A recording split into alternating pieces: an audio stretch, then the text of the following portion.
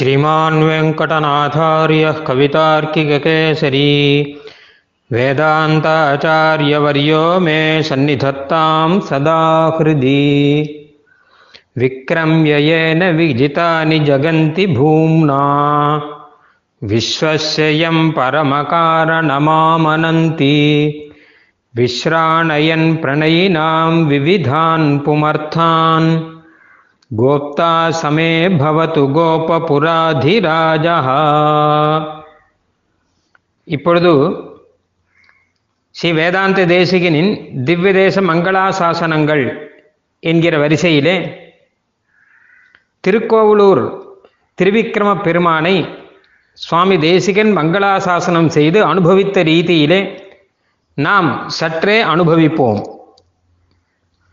ஆழ்வார்களும் ஆச்சாரியர்களுமாக சேர்ந்து ஒரே அவதாரம் என்று சொல்லும்படியாக சுவாமி தேசிகன் பல திவ்ய தேசங்களை மங்களாசாசனம் செய்தருளினார்.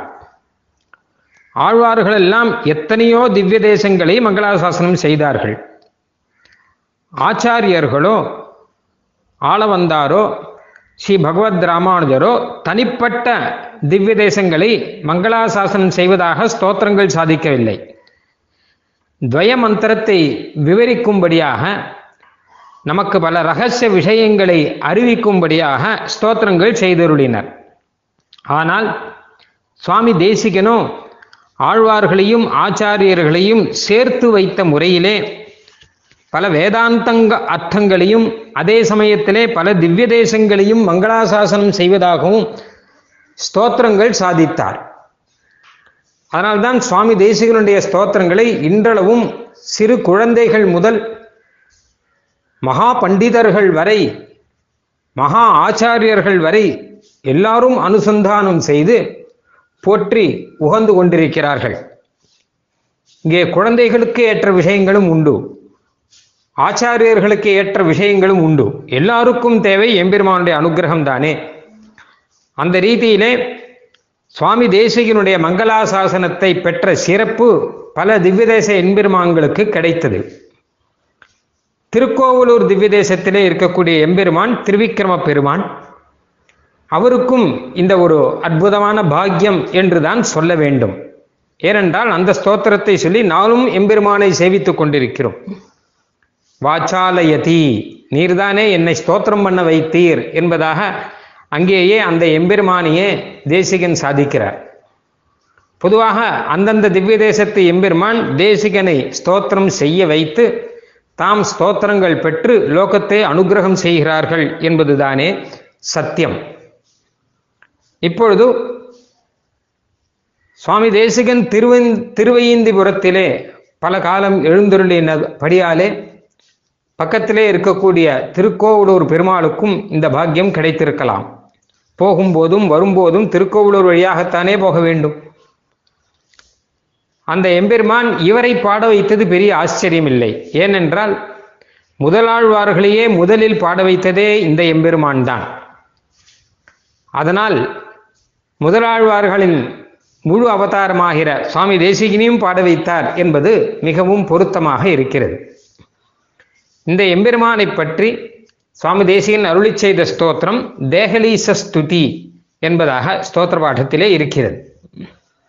அது தவிர தமிழ் பிரபந்தத்திலே பிரபந்த் அதிகார சங்கிரகத்திலே ஒரு பாசுரம் அற்புதமான பாசுரமும் பிரபந்த சாரத்திலே இரண்டு மூன்று குறிப்புமாக அது மட்டுமில்லாமல் சச்சரித்திர ரக்ஷா என்கிற ரக்ஷா கிரந்தத்திலே ஒரு ஸ்லோகமுமாக இப்படி பல இடங்களில் இந்த எம்பெருமானை சுவாமி தேசிகன் மங்களாசாசனம் செய்திருக்கிறார். முக்கியமாக தேகலீச ஸ்திரியை வைத்துக்கொண்டு நாம் இப்பொழுது அனுபவிக்கலாம். இந்த ஸ்தோத்திர பாட்டத்தினுடைய தலைப்பே ஆச்சரியமாக இருக்கிறது. தேகலீச ஸ்துதி. அந்த எம்பெருமான் தேகலீசன் என்று புகழ் பெற்றவன் திருவிக்கிரம பெருமான் உலகளந்த பெருமாள் மிருகண்டு மகரிஷி என்கிற மகரிஷியானவர் எம்பெருமானுடைய உலகளந்த வைபவத்தை சேவிக்க வேண்டும் என்று ஆச்சரியப்பட்டார். அதற்காக அந்த மகரிஷிக்காக பெருமான் வாமனாவதாரம் முதல் திருவிக்கிரமாவதாரம் வரை ஏனென்றால் உலகளந்த பெருமாள் அப்படின்னா வாமனத்திலேருந்து ஆரம்பிக்கணும். அப்போதானே வளர்ந்து உலகளந்ததை காண்பிக்க முடியும். அதனால் அப்படியாக பெருமாள் அந்த மிருகண்டு மகரிஷிக்கு சேவை சாதித்தாராம். மிருகண்டு மகரிஷி நாம் கேள்விப்பட்டிருக்கலாம் இல்லாவிட்டாலும் மிருகண்டு மகரிஷியுடைய புத்திரர் தான் மார்க்கண்டேயர் என்பவர். அவரை நாம் புராணங்களிலும் பல திவ்ய தேசங்களிலும் சேவித்திருப்போம் புராணங்களிலும் கேட்டிருப்போம். அப்படிப்பட்ட அந்த மார்க்கண்டேயருக்கே திருத்தகப்பனாராக இருந்த மிருகண்டு மகரிஷி பரம பாகவதராக இருந்தவர் அவருக்கு இந்த ஒரு ஆசை. எம்பெருமானுடைய லீலையிலேயே அற்புதமான லீலை என்று சொல்லலாம். இந்த உலகளந்த லீலை என்பதை. அதனால் எம்பெருமானே உம்மை நான் அந்த வைபவத்திலே சேவிக்க வேண்டும் என்பதற்காக தபஸ் பண்ண எம்பெருமானும் மிகவும் சந்தோஷத்துடன் அப்படி வாமனாவதார வைபவத்தையும் திருவிக்ரமாவதார வைபவத்தையும் நேரே காட்டி தந்தருள அது அவர் மனதில் அப்படியே நின்றது. நீர் இப்படியாக ஒரு அர்ச்சா ரூபத்திலே இங்கே எழுந்தருளி இருக்க வேண்டும் என்பதாக பிரார்த்தித்தார். அந்த ரீதியிலே பெருமாள் இன்றும் நமக்கு அங்கே சேவை சாதிக்கிறார் என்பதாக புராண குறிப்புகள் எல்லாம் சொல்லுகின்றன. அப்படிப்பட்ட பெருமானுக்கு தேகலீசன் என்கிற ஒரு திருநாமம். அந்த திருநாமத்தை பற்றியும் நாம் பின்னாடி பார்க்கலாம். இப்பொழுது இந்த எம்பெருமான் உலகளந்த வைபவத்தை சுவாமி தேசிகன் சொல்லும்போது ஆரம்பத்திலேயே விக்ரம்யேன விஜிதானி ஜகந்தி பூம்னா என்று ஆரம்பிக்கிறார். லோகத்தை எல்லாம் ஜெயித்தவன் எம்பெருமான். உலகங்களை ஜெயிப்பதற்கு பல விதங்கள் இருக்கலாம். பொதுவாக உலகத்தையே ஜெயித்தவர் அப்படின்னா தன்னுடைய பராக்கிரமத்தினாலே உலகத்தில் இருக்கக்கூடிய ராஜாக்களை எல்லாம் ஜெயித்து மொத்த உலகத்தையும் தன் கீழே அடிமையாக்கி கொண்டவர் அப்படின்னு அர்த்தம் பார்க்கலாம். பொதுவாக லோகத்தை அப்படி பார்த்துருக்கோம். ஆனால் இங்கே எம்பெருமான் ஒரு புது விதத்தை கையாளுகிறார். உலகம் மொத்தம் எனக்கு தான் சொந்தம் என்பதை காண்பிப்பதற்காக. தேவலோகம் எனக்கு சொந்தம் என்று இந்திரன் சொன்னான். இந்திரனுடைய தேவலோகத்தை தட்டி பறித்து கொண்டார் மகாபலி சக்கரவர்த்தி. மகாபலி சக்கரவர்த்தி பூமியெல்லாம் ஆண்டு கொண்டிருந்த போது பூலோகம் எனக்கு சொந்தம் என்று சொன்னான். தேவலோகம் எனக்கு சொந்தம் என்று இந்திரன் சொன்னான். ஆனால் மகாபலி அந்த தேவலோகத்தை தட்டி பறித்து தான் வைத்துக்கொண்டு இதுவும் எனக்கு தான் சொந்தம் அப்படின்னு சொல்லச்ச. பெருமாள் என்ன பண்ணார் அப்படின்னா உங்க ரெண்டு பேருக்குமே எதுவுமே சொந்தம் கிடையாது. நீங்கள் இதில் ஒரு வஸ்துவையும் படைக்க முடியாது. நீங்கள் ஒரு புல்லை படைத்தார்களா? இல்லை நீங்கள் ஒரு எறும்பை படைத்தீர்களா? எதை படைத்தீர்கள்? அதனால் இந்த உலகம் மொத்தமும் எனக்கு தான் சொந்தம் என்பதை நிரூபிக்கிறார். மகாபலி சக்கரவர்த்தியோடு யுத்தம் பண்ணி அசுரர்களை ஜெயித்து மொத்தமும் தனக்கு சொந்தம் என்பதாக பெருமான் காண்பிக்கவில்லை. பின்ன என்ன செய்தான்னா உலகம் மொத்தத்தையும் அளந்து கொண்டு தன் திருவடி கீழே வைத்து இது எனக்கு சொந்தம் என்பதாக ஆக்கி கொண்டார். மகாபலி சக்கரவர்த்தியிடம் போய் மூணடி வேண்டும் மண் வேண்டும் என்று கேட்டு இரண்டு அடியினாலே உலகத்தை அளந்து தனக்கு சொந்தமாக ஆக்கி கொண்டான் இல்லையா? இது எம்பெருமானுடைய ஒரு தனி சாமர்த்தியம் இது. அதைத்தான் சாதிக்கிறார். விக்ரம் யேன விஜிதானி ஜகந்தி பூம்னா. அளந்தே நடந்தே உலகத்தை தனக்கு கீழே ஆக்கி கொண்டவன் எம்பெருமான். அப்படின்னு.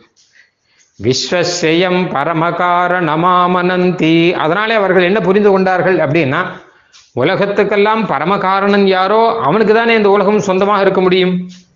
நாம் போய் இதை சொந்தம் சொந்தம் என்று உறவு கொண்டாடி கொண்டிருக்கிறோமே அப்படின்னு அவர்களே தலை குனிந்தார்கள் அதனால யார் காரணமானவனோ அவன்தான் பதியானவன் அவன்தான் சேஷியானவன் அவனுக்கு தான் சொந்தம் என்பதாக தெரிகிறது. இந்த உலகத்தை யார் படைத்தானோ அவன்தான் நம்மை இந்த உலகத்திலே வைக்கிறான். இந்த உலகத்தை யார் படைத்தானோ அவன்தான் நம்மை இந்த சம்சாரத்திலிருந்து மோச்சனம் கொடுத்து சீவைகுண்ட லோகத்திலே வைக்க வேண்டியவனும். இது எல்லாம் ஒருவரே செய்தால் தானே அழகா இருக்கும். படைக்கிறவர் ஒருத்தர் ரட்சிக்கிறவர் ஒருத்தர். அப்படிலாம் இருந்தால் நல்லா இருக்காது சொந்தக்காரர் வேற ஒருத்தர். அப்படிலாம் இருந்தால் நல்லா இருக்காது இல்லையா? நல்லா இருக்காது மட்டும் இல்லை பொருந்தாது. இது. அதனால தான் உபனிஷத் என்ன சொல்லுகிறது அப்படின்னா யார் காரணமோ ஜெகத் காரணமோ அவன்தான் மோட்சத்துக்கும் காரணம் அப்படின்னு புருஷ சுத்தங்கள்னா அடிக்கடி சொல்றது. பல வாக்கியங்கள் இருக்கு. அதனால உலகத்துக்கு காரணமானவன் உலகத்தை தன் சொந்தமாக ஆக்கி கொண்டான் அப்படின்னா அதில் ஒன்றும் ஆச்சரியம் இல்லையே அப்படின்னு சொன்னார். அப்போ விஸ்ராணயன் பிரணயினாம் விவிதான் புமர்த்தான். அப்படிப்பட்ட எம்பெருமான் உங்களுக்கு சொந்தம் நான் தான் நம்மிடம் சொல்லுகிறானாம். உங்களுக்கு சொந்தம் நான் தான் அதாவது உங்களுக்கு சொந்தக்காரன் நான் தான் நீங்கள் எனக்கு உட்பட்டவர்கள். ஆகையினாலே எதை கேட்டாலும் என்னிடம் கேளுங்கள். நான் எதை வேண்டுமானாலும் கொடுக்க காத்து கொண்டிருக்கிறேன் என்பதாக சகல பலன்களையும் கொடுப்பதற்காக இங்கே திருக்கோவலூரிலே கோபபுரம் என்று சொல்லக்கூடிய திருக்கோவலூரிலே எம்பெருமான் எழுந்தருளி இருக்கிறான் என்பதாக இந்த முதல் ஸ்லோகத்துக்கு அர்த்தம். இப்படியாக இந்த தேகலீச ஸ்துதியிலே பார்த்தோமானால் பல இடங்களிலே இந்த வாமனாவதாரத்தையும் திருவிக்ரமாவதாரத்தையும் மங்களாசாசனம் செய்திருக்கிறார். ஏன்னா அந்த அவதாரம் இங்கே அர்ச்ச அவதாரம். ரெண்டும் சேர்ந்து இருக்கு. ரெண்டும் சேர்த்து பார்க்கும்போது அழகாக இருக்கும். அதனால இரண்டையும் சேர்த்து அழகாக மங்களாசாசனம் செய்தருளுகிறார் அழகாக ஒரு ஸ்லோகத்தில் சாதிக்கிறார் பிக்ஷோச்சிதம் பிரகடயன். பிரதமாசிரமத்துவம். பெருமாள் பிக்ஷை எடுப்பதற்காக போனாராம். எங்கே? மகாபலி சக்கரவர்த்தியுண்ட யாக பூமியிலே அப்பொழுது பிக்ஷைக்கு ஏற்ற ஒரு ஆகாரத்தை எடுத்துக்கொண்டு போக வேண்டும். பவதி பிக்ஷாந்தேகி என்று சொல்ல வேண்டும். அதற்காக பிரம்மச்சாரி ஆசிரமத்திலே பெருமாள் போனாராம். கிருஷ்ணாஜினம் யவனிகாம் கிருத்தவான் பிரியாயாக. ஆனால் பெருமாள் இப்படி வாமன அவதாரம் எடுத்து பிரம்மச்சாரி அவதாரம் எடுத்து யாசனத்துக்கு போய் மகாபலி கிட்ட கேட்டு வாங்கி மொத்த லோகத்தையும் தம் வசமாக்கணும் என்பதாக திட்டம். ஆனால் அப்பொழுது பிராட்டி கேட்டாராம் நானும் வருகிறேன். நீர் அவதாரம் செய்வதாக இருந்தால் நானும் வருகிறேன் அப்படின்னாராம். பெருமாள் சொன்னார் இது என்ன வேடிக்கையா இருக்கு? பிராட்டி கேட்டார் நீர் அவதாரம் செய்வது எதற்காக? சம்ஹாரம் பண்ணுவதற்காகவா? இல்லை ரக்ஷணம் செய்வதற்காகவா? சம்ஹாரம் பண்ணுவதற்காக இருந்தால் நான் வரவில்லை. எனக்கு அதில் காரியம் கிடையாது. ஏன்னா ஸ்ரீயம் அஜ்ஞாத நிகிரகம் எனக்கு நிகிரகங்கிறது சரிப்படாது. நீர் அனுகிரகம் பண்றீரா நிகிரகம் பண்றீரா என்பதை சொல்லிவிடும். மகாபலி சக்கரவர்த்தியை நிகிரகம் பண்ணி அவனை ஒழித்து உலகத்தை உன்வசம் ஆக்கி கொள்ளப் போகிறீரா? இல்லை மகாபலி சக்கரவர்த்திக்கு அனுகிரகம் பண்ணி உலகத்தை உன்வசம் ஆக்கி கொள்ளப் போகிறீரா அப்படின்னா பெருமாள் சொன்னார் அம்மா நிகிரகம்னு பொதுவாக இருக்கே தவிர நான் அனுகிரகம் தான் பண்ணுவேன். இங்கே சாட்சாத் அனுகிரகம் தான் பண்ண போறேன். நிகிரகம் பண்ண போவதில்லை அப்படின்னா அப்போ விராட்டி நானும் வருவேன் அப்படின்னாராம். ஆனால் பிரம்மச்சாரியா போறேனே அப்படின்னார். நீ எப்படி போனாலும் நானும் வருவேன் அப்படின்னு விட்டார் ஏன்னா அனுகிரகம் அப்படின்னா பிராட்டியோடு சேர்ந்து பெருமாள் செய்யக்கூடிய அனுகிரகம் தான் விசேஷமா இருக்கும். அப்போ பெருமாள் வேற வழி இல்லாமல் கிருஷ்ணாஜினம் யவனிகாம் கிருத்தவான் பிரியாயாக. பிராட்டி திருமார்பிலே இருக்கும்போது கிருஷ்ணாஜினம் என்று சொல்லக்கூடிய மான் தோலை மேலே சார்த்தி கொண்டார். பிக்ஷைக்கு போகும்போது பிரம்மச்சாரியா போகும்போது திருமார்பிலே ஒரு பெண் இருக்கிறதை பார்த்தா பிரம்மச்சாரின்னு யார் நம்புவா? அதுக்காக கிருஷ்ணாஜினத்தை ஒரு திரை மாதிரி ஆக்கிட்டாராம். பிராட்டி தெரியாத மாதிரி. அப்புறம் போய் எல்லாமே ஒரு வேஷம் தானே. வாமனனாக வந்ததே ஒரு வேஷம். அந்த வேஷத்தில் பிராட்டியை மறைத்தது இன்னும் பெரிய வேஷம். அப்படி போய் போய் பிக்ஷை எடுக்க அந்த பிராட்டியினுடைய அனுகிரகமும் கூட சேர்த்து கிடைத்ததாம். பெருமாளுடைய அனுகிரகம் மட்டும் இல்லாமல் பிராட்டியினுடைய அனுகிரகம் ரெண்டும் சேர்த்து கிடைத்தபடினால்தான் இன்றைக்கும் மகாபல சக்கரவர்த்தி எல்லாரும் கொண்டாடும்படியாக இருக்கிறார். அப்படி பெருமாள் வாமன பெருமாளாக நடந்த வைபவத்தையும் இந்த அழகாக இங்கே சாதிக்கிறார். அதே மாதிரி திருவிக்கிரம பெருமாள் அப்படின்னு பார்த்தோம்னு வச்சுக்கோங்க. பெருமாள் வளர்ந்த வைபவமே ரொம்ப அழகாக இருக்கும். பக்த பிரிய தொயி ததா பரிவர்த்தமானே முக்தா விதான விததிஹி தவ பூர்வமாசீத். ஹாராவளி பரமதோ ரசனா கலாபா தாராகலஹா ததனு மௌக்திக நூபுரஸ்ரீஹி என்பதாக அற்புதமான ஸ்லோகம் சாதிக்கிறார். எம்பெருமான் பக்த பிரியன் இல்லாவிட்டால் பக்தரிடம் போய் யாச்சனம் கேட்பானா? ஒருவன் தன்னுடைய நிலையை விட்டு கீழே இறங்கி வந்து ஒரு பக்தனிடம் யாசிக்கிறான் பௌதி பிக்ஷாந்தேகி என்பது போலே கேட்கிறான் அப்படின்னா எத்தனை ஆசை இருக்கணும் அவனிடம். உவந்த உள்ளத்தனாய் அப்படிங்கிறார் ஆழ்வார். ரொம்ப சந்தோஷமான ஒரு யாச்சனம் இது. பெருமாளுக்கு ரொம்ப பிடிச்சிருக்கு. நான் என் மகாபலி கிட்ட போய் கேட்குறேன் அப்படின்னு சந்தோஷமா போய் கேட்குறான் அப்போ பெருமாள் வளர்ந்த வேகத்தை சொல்லும்போது பெருமாள் அப்படி வேகமாக வளர்ந்த போது முக்தாவிதான நட்சத்திர மண்டலங்கள் மேலே ஆகாசத்தில் இருக்கக்கூடிய நட்சத்திர மண்டலங்கள்லாம் பெருமாளுக்கு முத்துப்பந்தல் போட்ட மாதிரி இருக்கான் ஏன்னா பெருமாள் அவ்வளோ அவசரமாக வளர்ந்துட்டார். மேலே அப்படியே முத்துப்பந்தல் போட்டால் எப்படி இருக்கும்? அந்த மாதிரி நட்சத்திரம் இருந்துதான் அடுத்த க்ஷணம் பார்த்தா ஹாராவலிகி. ஏன்னா நட்சத்திர மந்திரத்தை தாண்டி போயிட்டாரா பெருமாள்? அவருடைய திருமார்பிலே நிறைய ஹாரங்கள் ரத்திரங்கள் பதிச்ச ஹாரங்கள் இருந்தால் எப்படி இருக்குமோ அந்த மாதிரியாக நட்சத்திரங்கள்லாம் திருமார்பிலே ஹாரமாக அங்கங்கே பளபளன் பிரகாசமாக முத்து மாலையாக ஆகிவிட்டதாம். முதல்ல முத்து பந்தலாக இருந்தது அப்புறம் முத்து மாலையாக ஆகிவிட்டது. அதுக்கப்புறம் பெருமாள் இன்னும் வேகமாக வளர்ந்தாரா அதுக்கப்புறம் ரசனா கலாபகா பெருமாளுடைய இடுப்பில் இருக்கக்கூடிய ரசனாவாக அதாவது ஒட்டியானமாக முத்து ஒட்டியானமாக ஆகிவிட்டதாம். இன்னும் பெருமாள் வளர அப்புறம் அந்த நட்சத்திரங்கள் எல்லாம் பெருமாளுடைய திருவடியிலே காலிலே இருக்கக்கூடிய சலங்கை முத்து சலங்கையாக எல்லாம் மாறிவிட்டன.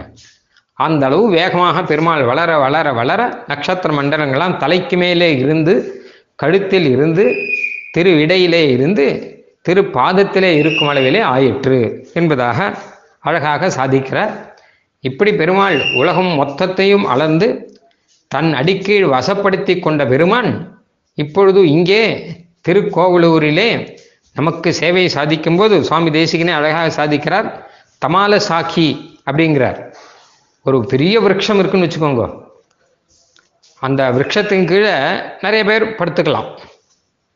வெயில் அப்படி கஷ்டம் தெரியாமல் அங்கே போய் நிறையா படுத்துப்பா. அந்த காலத்துலாம் பெரிய விரக்ஷம் இருந்தால் பத்து பேர் படுத்துப்பா இருபது பேர் படுத்துப்பா.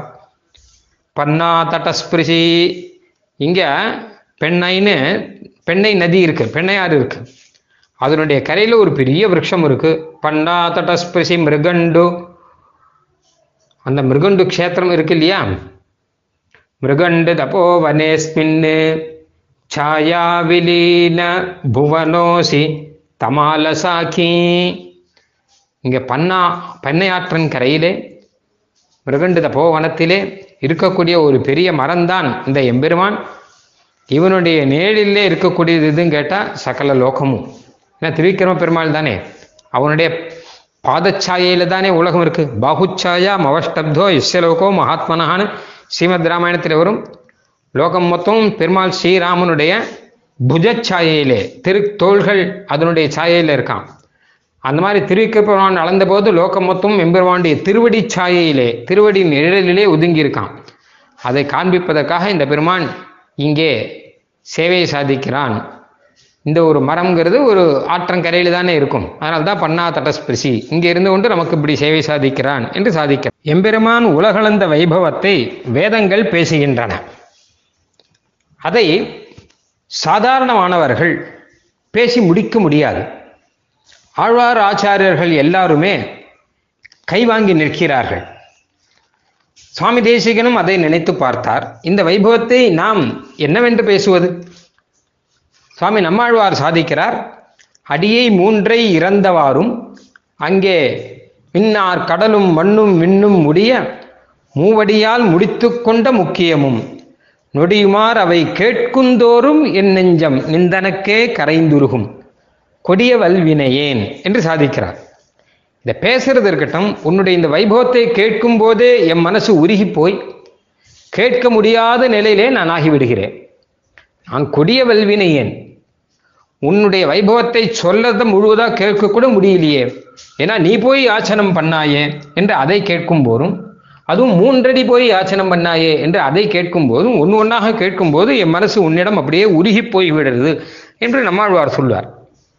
அந்த மாதிரி ரீதியிலே இந்த வைபவத்தை அதுவும் உலகளந்த வைபவம் என்று எடுத்தால் அது பெரிய ஈஸ்வரத்துவம் ஐஸ்வர்யத்தை காண்பிக்கக்கூடியது. தேகல்யதீஸ்வர தவேதிருஷம் ஈஸ்வரத்வம் துஷ்டூஷதாம் திசதி கட்கதிகானுபந்தம் உன்னுடைய இந்த ஈஸ்வரத்துவம் இருக்கே உலகளந்த வைபவம். இதை ஸ்தோத்திரம் பண்றவர்கள் எல்லாம் கட்கதிகா குரல் தழுதெழுத்து மயங்கி நிற்கிறார்கள். சுவாமி நம்மாழ்வார் சொன்னதை மனசில் வைத்துதான் இங்கே சுவாமி தேசியன் இப்படி சாதிக்கிறார். அதனால எப்போ நம்மாழ்வாரே இப்படி சொல்லிட்டாரோ எப்போ இந்த ஈஸ்வரத்துவத்தை நாம் அனுபவித்து பூர்த்தியாக பாட முடியாதோ? அப்ப நானும் பாட போறதில்லை. நானும் அதை பாடுவதற்காக வரவில்லை. என்னாலே முடியாத காரியம். பேசாம இருக்கலாம் தான் நினைச்சேன். ஆனால் என்னை நீர்தான் பாட வைத்தீர். ஏன்னு கேட்டா வாச்சாலயதி நான் பேசாம இருக்கணும்னு நினைச்சுட்டு வரேன். இந்த எம்பெருமானை பத்தி ஒன்றும் பாடக்கூடாது. வேதங்களே கை வாங்கின விஷயம். பாட முடியாமல் ஆழ்வார் ஆச்சாரியர்கள் எல்லாமே பேசாமல் இருக்கிறார்கள் பாட முடியாமல் அப்படின்னு நினைச்சுட்டு இருந்தேன். ஆனா என்னையும் நீர் பேச வச்சுட்டீர். அத்த சமாம் கொச்சன க்ஷாந்தேன தாந்த கவிமுக்கிய விமர்தனேனா. எதனால அப்படின்னு பார்த்தா உமக்கு இதுதான் சுபாவம். அன்னைக்கு முதலாழ்வார்களை பாட வைத்தீர் இல்லவா? அதே போல என்னையும் பாட வைக்கிறீர் என்பதாக புரிந்து கொண்டேன். அதான் தேகல்யதீஸ்வர அப்படின்னு ஆரம்பிக்கிறார். பெருமாள் திருவிக்கிரம பெருமான் திருநாமம் இருந்தாலும் ரொம்ப முக்கியமான ரொம்ப அழகான திருநாமம் தேகலீசன் என்பது. தேகலி அப்படின்னா ரேழில் அதாவது வெளியும் இல்லாமல் உள்ளும் இல்லாமல் நடுவிலே இருக்கக்கூடிய கிரகத்திலே நடுவிலே இருக்கக்கூடிய இடம் ரேழி என்பதாக சொல்வார்கள். அங்கே நடந்த ஒரு முக்கியமான ஒரு சைபவம் ஒரு சம்பவம். அங்கே பெருமான் இந்த பெருமான் எழுந்துருளினாராம். அதனால தேகலீசன் என்று பெயர். தோகலி தேகலீசகா அப்படின்னா வேடிக்கையை சாதிக்கிறார். ஆழ்வார் அழகா சாதிக்கிறார். நீயும் திருமகளும் நின்றாயால் குன்றெடுத்து பாயும் பனிமறைத்த பண்பாளா? வாயில் கடைபுகா வாசில் கடைகழியா உள்புகா காமறுப்பும் கோவல் இடைகழியே பற்றி நீ என்பதாக சாதிக்கிறார். வாயில் கடைகழியா உள்புகா. வெளியிலையும் போக முடியாது உள்ளேயும் போக முடியாது. அதாவது சுருக்கமான வைபவம் எல்லாருக்கும் தெரியும். முதலாழ்வார்களிலே பொய்கையாழ்வார் பூதத்தாழ்வார் பேயாழ்வார் இவர்கள் பல ஊர்களில் இருந்து எம்பெருமானை சேவித்துக் கொண்டு திவ்யதேச யாத்திரையாக வந்தபொழுது இந்த ஊருக்கு வந்து சேர்ந்தார்கள். நல்ல மழை பெய்யும் போது நல்ல இரவிலே நல்ல ராத்திரியிலே அங்கே முதலிலே பொய்கையாழ்வார் வந்தார். அங்கே தங்குவதற்கு இடம் இருக்குமா என்று பார்க்கும்போது மிருகண்டு மகரிஷியுடைய ஆசிரமம் இருந்தது. அங்கே போய் அந்த ரேழிலே தங்கினார். பிறகு கொஞ்ச நாளிலே அங்கே பூதத்தாழ்வார் வந்து சேர்ந்தார். அவரும் ஒரு சீவைஷ்ணவர் என்பதை பார்த்து ரொம்ப சந்தோஷத்துடன் அவரையும் உள்ளே கூட்டிக் கொண்டார். இரண்டு பேருமாக உட்கார்ந்து கொண்டிருந்தார்கள். இன்னும் சற்று நேரத்திலே பேயாழ்வாரும் அங்கே வந்து சேர இவரும் சீவைஷ்ணவர் என்பதை பார்த்து மிகுந்த சந்தோஷத்துடன் அந்த சின்ன இடத்திலே மூன்று பேர் தான் நிற்க முடியுமாம். அதனால மூன்று பேரும் அங்கே நின்று கொண்டிருக்கிறார்கள். அதான் வாயில் கடை கழியா உள்புகா வேற யாரும் உள்ளேவும் வர முடியாது. உள்ளே இருக்கிறவர்களும் வெளியில போக முடியாது. ஏன்னா அப்படி நெருக்கி இருக்கும்போது உள்ளே இருக்கிறவர்களும் வெளியில வர முடியாது என்பதாக இருக்கக்கூடிய ஒரு சின்ன இடம். அப்பொழுது அந்த இடத்திலே நான்காவதாக பெருமான் உள்ளுக்குள்ளே வருகிறான். அதாவது ஒரு ரூபத்துடன் வரவில்லை அரூபமாக வருகிறார். உள்ளே யாரோ நெருக்குகிறார்கள் அப்படின்னு தெரியுது இவாளுக்கு. யார் நெருக்கிறான்னு தெரியல. யாரோ நிற்கிறாளே யார் நெருக்கிறா யார் நிற்கிறா அப்படின்னு பார்த்தா அவர்களுக்கு ஒரு விஷயம் புரிகிறது. இடமில்லாத இடத்திலே வந்து நெருக்கக்கூடியவன் எம்பெருமான் தான். ஏன்னு கேட்டால் நம்ம ஹிருதயத்துக்குள்ள வந்து நெருக்கிறானாம் ஹிருதயம் இருக்கே இதுக்கு தஹ்ராவகாசம் அப்படின்னு சுவாமி தேசிய அழகாக சொல்றார் உபநிஷத்து சொல்ற விஷயம். ஹிருதயம்ங்கிறது ரொம்ப சின்னதாக இருக்கக்கூடிய ஒரு இடம். தாமரப்பூ மாதிரி ஹிருதயம் இருக்கும். அந்த ஹிருதயத்துக்குள்ளே சின்னதாக ஒரு ஆகாசம் ஒரு கேப் ஒன்று இருக்கும். அதில் தான் ஜீவன் இருக்கான். ரொம்ப சின்ன ஒரு ஆகாசம். ஆகாசம்னா இடைவெளின்னு அர்த்தம். அதுக்குள்ளுக்குள்ளே ஜீவன் இருக்கான். அதுக்கு உள்ளுக்குள்ளே பெருமானும் இருக்கான். பரமாத்மாவான நாராயணனும் உள்ளுக்குள்ளே இருக்கான். இடமில்லாத இடமாக அந்த ஜீவாத்மாவை நெருக்கி கொண்டு அங்கே உள்ளுக்குள்ளே பரமாத்மா இருக்கான் என்பதை உபனிஷத்துகள்லாம் அழகாக சாதிக்கின்றன.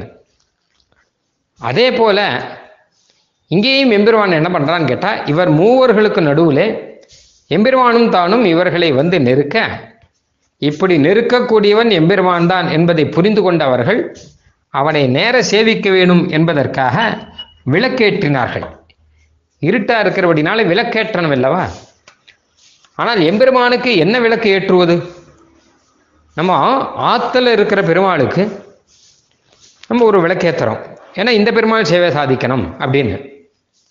கோயிலில் மூலம் ரொம்ப பெருசாக படுத்துன்னு வச்சுக்கோங்க. ஒரு விளக்கு ஏற்றினா திருவனந்தபுரத்தில் மூலவர் சயன திருக்கோலத்தில் இருக்கும்போது ஒரு பத்து விளக்கு உள்ளே ஏற்றி வச்சிருப்பான். ஏன்னா ஒரு விளக்குல அவர் சேவை சாதிக்க மாட்டார். அந்த மாதிரி பெரிய கோயிலாக இருந்தால் பெரிய மூர்த்தியாக இருந்தால் நிறையா விளக்கு ஏற்றணும் இந்த எம்பெருமான மாதிரி எங்கே இருக்கார் அப்படின்னு பார்த்தா எல்லா இடத்துலையும் இருக்கார். உலகளந்த பெருமாள் தானே.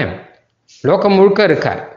அப்போ இவருக்கு விளக்கு எப்படி ஏற்றுறதுன்னு பார்த்தார். வையம் தகழியா வார்க்கடலே நெய்யாக வெய்ய கதிரோன் விளக்காக அப்படிங்கிறார். லோகம் மொத்தமே விளக்கா வச்சுக்கணும். கடல் மொத்தமும் எண்ணெயாக வச்சுக்கணும். அப்படிலாம் வச்சுட்டா தான் இந்த பெருமானை சேவிக்க முடியும். ஏன்னா அவருக்கேற்ற விளக்கு அதுதானே இருக்க முடியும். அப்படின்னு பொய்கையாழ்வார் சொல்லி ஆரம்பித்து நூறு பாட்டு பாடினார். பூதத்தாழ்வார் அது மட்டும் போராது வெளியில விளக்கு ஏற்றினா போறாது உள்ள இருக்கக்கூடிய இருட்டு போகணும். எம்பெருமான் புரியணும்னு வச்சுக்கோங்களேன். நம்ம ஆத்துல இருக்க பெருமாளே புரியணும்னு வச்சுக்கோங்க. இல்ல கோயில்ல இருக்கிற பெருமாள் புரியணும்னு வச்சுக்கோங்க. வெளியில விளக்கு ஏற்றினா போருமோ? வெளியில விளக்கு ஏற்றினா ஏதோ பிம்பம் தான் தெரியும். அந்த பெருமான் காருண்யத்தினாலே இங்கே எழுந்துருளி இருக்கார் அப்படின்னும் பெருமாள் ஆனந்த ஸ்வரூபமாக இங்கே எழுந்துருளி இருக்கார் அப்படின்னும் நமக்கு அனுகிரகம் பண்றார் அப்படின்னும் அவரை நாம சரணாகிதி பண்ணணும் அப்படின்னும் இப்படிப்பட்ட ஒரு பெருமானுடைய ஆத்மஸ்வரூபம் தெரியணும்னு வச்சுக்கோங்க. அப்போ உள்ளே இருக்கிற அஜ்ஞானம்ங்கிற இருட்டு போகணும். வெளியில் இருக்கிற இருட்டு போனால் போகாது வெளியில் இருக்கிற இருட்டு அப்படிங்கிறது நம்ம கண்ணை மறைக்கக்கூடிய இருட்டு. அது போனால் போகாது மனசுக்கு ஒரு இருட்டு இருக்கு இல்லையா? அந்த இருட்டு போகணும். அஜ்ஞான இருட்டு போகணும். அதுக்கு பூதத்தாழ்வார் என்ன பண்ணார்? அன்பே தகழியா ஆர்வமே நெய்யாக இன்புருகு சிந்தை இடுதிரியா அப்படின்னார். இதுக்கு என்ன விளக்கு ஏத்தனம் அப்படின்னா பெருமாள் கிட்ட இருக்கக்கூடிய அன்பு தான் விளக்கு. ஸ்ரத்தை அதாவது பக்தி தான் விளக்கு. ஸ்ரத்தை அப்படின்னு இருக்கும் இல்லையோ அதான் நெய். அப்படி வச்சு பக்தியோடு கூட ஸ்ரத்தையோடு கூட நாம் பார்த்தால்தான் அஜ்ஞான இருட்டு போய் எம்பெருமானை சேவிக்க முடியும் என்பதாக இப்படி ஆரம்பித்து ஒரு நூறு பாசுரங்கள் அவர் பாடினார். எம்பெருமான் நெருக்கிறபடியினாலே இவர்கள் எம்பெருமானை சேவிக்கும் ஆசையிலே இப்படி பாடெல்லாம் பாட அப்போ எம்பெருமான் சேவை தர பேயாழ்வார் அந்த பெருமானை நேராக சேவித்து திருக்கண்டேன் பொன்மேனி கண்டேன் திகழும் அருக்கன் அணிநிறமும் கண்டேன் என்பதாக ஆரம்பித்து அவர் ஒரு நூறு பாடல்கள் பாடினார். ஆக இப்படியாக வருத்தும் புறவிருள் மாற்ற என் பொய்கைப்பிரான் மறையின் குருத்தின் பொருளையும் செந்தமிழ் தன்னையும் கூட்டி என்று சொல்லும்படியாக அந்த வெளியிலே இருக்கக்கூடிய இருட்டு போகும்படியாக பொய்கையாழ்வார் எப்படி ஏத்தினார்னா மறையின் குருத்தின் பொருளையும் அதாவது வேத அர்த்தத்தையும் செந்தமிழையும் கூட்டினாராம். ஒரு பக்கம் வேத அர்த்தத்தை கையில் வச்சுட்டார் இன்னொரு பக்கம் செந்தமிழை கையில் வைத்து கொண்டார். இது ரெண்டையும் சேர்த்து வைத்துக்கொண்டு அவர் பாட்டு பாடினார். சுவாத்தியாய யோக நயனாக சுச்சய கவீந்திராக அப்படின்னு சுவாமி தேசியன் சொல்றார். ஆழ்வார்களுக்கு எல்லாமே ரெண்டு கண்கள் இருக்கான் அதனால தான் அவள் எம்பெருமானை அழகாக பார்க்குறா. ஒரு கண் எதுவும் கேட்டால் வேதம். இன்னொரு கண் எது அப்படின்னு கேட்டால் யோகம். ஏன்னா எம்பெருமானை பற்றியான ஒரு பக்தியால் பக்தி யோகம்னு வச்சுப்போம். எம்பெருமானை பற்றியாக பக்தியுடன் கூடிய ஒரே சிந்தை அது. ஒரு பக்கம் எம்பெருமானை பற்றியான அந்த சிந்தை சிந்தை அது தவிர வேற கிடையாது. இன்னொரு பக்கம் பார்த்தா பிரமாணமாக வேதம் வேதம்னு அதையே எடுத்துட்டு இருக்கான். இந்த ரெண்டு ரெண்டு கண்ணால எம்பெருமானே அவ பார்க்கறாளாம். அதனால தான் ஆழ்வார்களுக்கு ஆச்சரியமான ஒரு சேவை கிடைக்கிறது. அதனால தான் அவர்கள் இப்படி வேதத்தையும் அனுசரித்து அதாவது வேதம்ங்கிறது எம்பெருமானை பரோட்சமாக காட்டும். இந்த பக்தி யோகம் அப்படிங்கிறது இருக்கும் அது கண்ணுக்கு நேர இருக்கிற மாதிரி எம்பெருமானை காட்டும். அப்போ ஆழ்வார்கள் என்ன பண்ணாங்க கேட்டா அந்த வேதத்தினாலே பரோட்சமாக காட்டக்கூடிய எம்பெருமானை நம்ம கண்ணுக்கு நேரே காட்டுற மாதிரி பாசுரங்கள் பாடினார்கள் இல்லையா?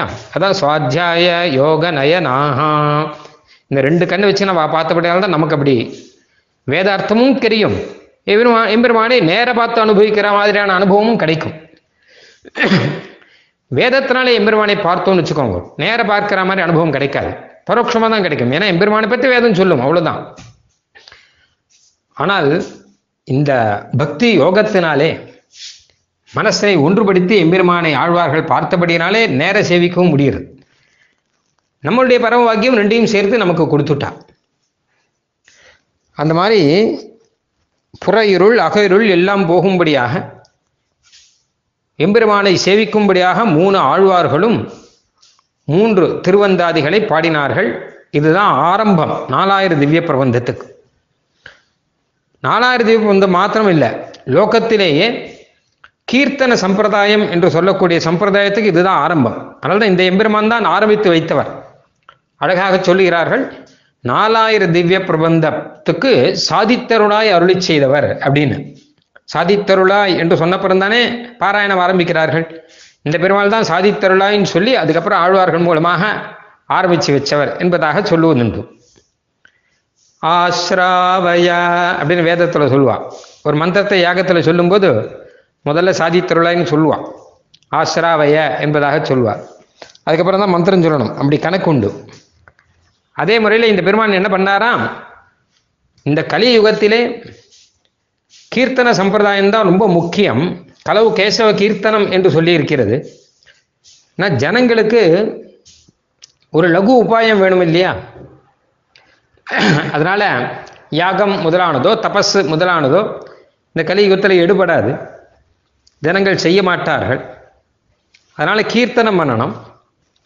வேத மந்திரங்கள் சொல்வதற்கு பல பேருக்கு தெரியாது பல பேருக்கு முடியாது. அதனால கலியுக தர்மமான கேசவ கீர்த்தனத்தை லோகத்திலே பரப்பணுங்கிறதுக்காக கீர்த்தனம்னா என்ன? அதுக்காக இந்த பெருமாள் செய்தார் இந்த காரியம். இப்பதான் முதல்ல கீர்த்தனம் ஆரம்பம். எம்பெருமானை இதுக்கு முன்னாடியெல்லாம் கீர்த்தனம்னா ரெண்டுல இருந்தது. ஒன்று என்னன்னு கேட்டால் வேத மந்திரங்களாலே கீர்த்தனம்.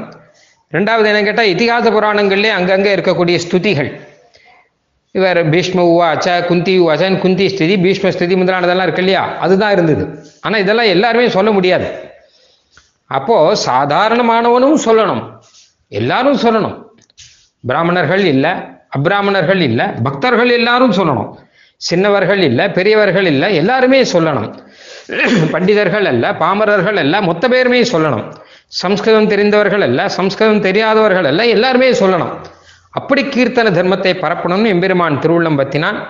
அதுக்காக தான் அகஸ்திய சேவிதமான இந்த தேசத்திலே தமிழ் பாஷையிலே இந்த ஆழ்வார்களை கொண்டு முதல் முதல்ல தமிழ் பாசுரங்களை எம்பெருமான் வரவழைத்தான். இதுலேருந்து தான் லோகத்தில் கீர்த்தனமே ஆரம்பம். இது இதுக்கு முன்னாடி கிடையாது. சம்ஸ்கிருதத்தில் கூட ஸ்தோத்திரங்கள்லாம் முன்னாடி கிடையாது. இத்திகாச புராணத்தில் இருந்ததோடு சரி.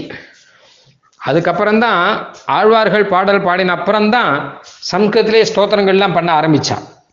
வேற எந்த மொழியிலையும் கிடையாது. முதல்ல இதில் தான் வந்தது. பெருமான் பண்ண பெரிய புரட்சி அது.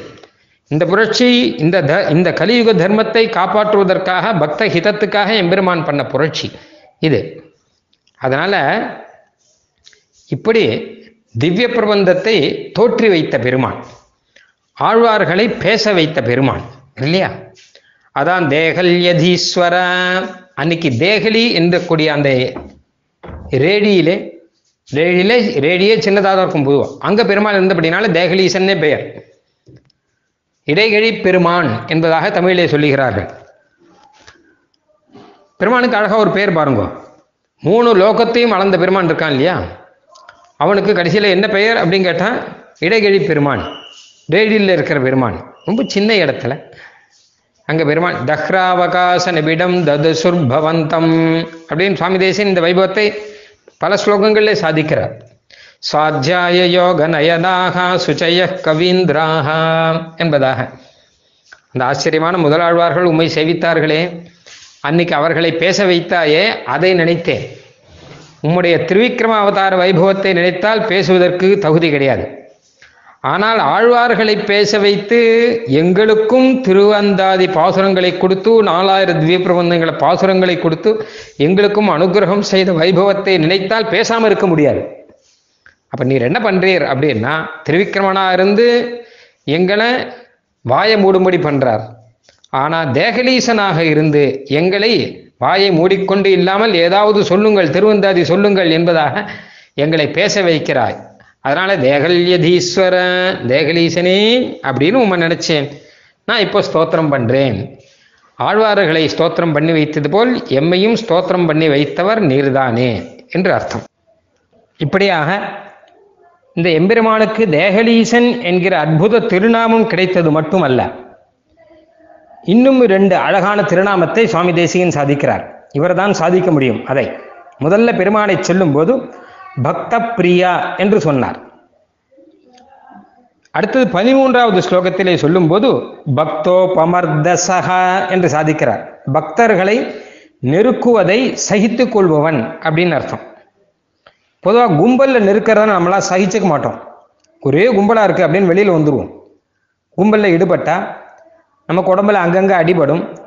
ஒரே வேர்வையாக இருக்கும். ஒரே துர்க்கந்தமாக இருக்கும். அதனால் பலருமே என்ன ஆசைப்படுவோம் கேட்டால் எனக்கு இந்த கும்பலெல்லாம் போய் நிற்க முடியல நான் தனியாக இருக்கேன் என்பதாக தான் ஆசைப்படுவோம்.